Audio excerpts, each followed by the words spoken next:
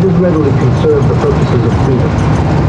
But the hero heart must also be attacked.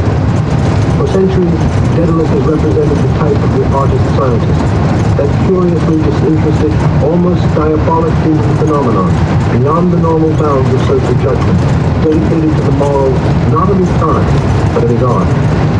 He is the hero of the way of thought, single-hearted, courageous, and full of faith that the finds it, shall make us free. And so now we may turn to him and see Ariadne. The flax for the linen of his thread has gathered from the fields of the human imagination. Centuries of husbandry, decades of diligent culling, the work of numerous hearts and hands have gone into the packing, sorting, and spinning of this tightly twisted yarn. Furthermore, we do not even have to risk the adventure alone, for the heroes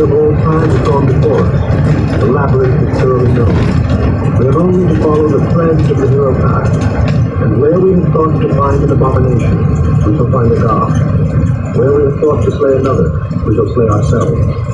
Where we have thought to travel outward, we shall come to the center of our own existence. Where we have thought to be alone, we shall be with all the world.